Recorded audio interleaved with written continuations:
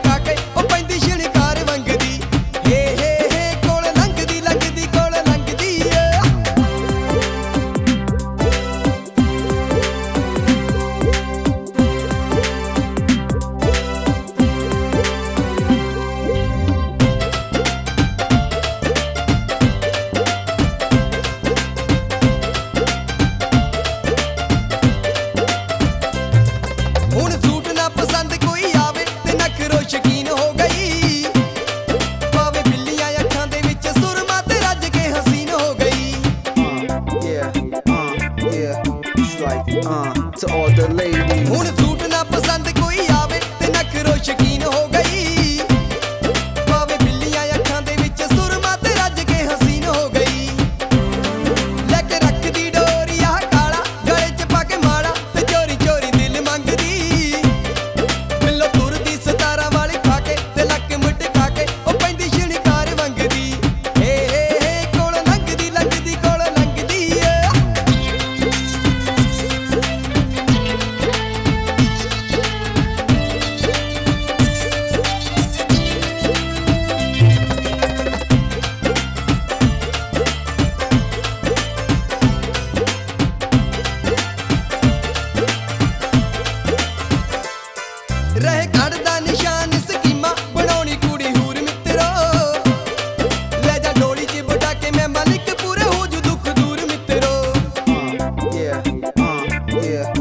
like, uh, to all the ladies.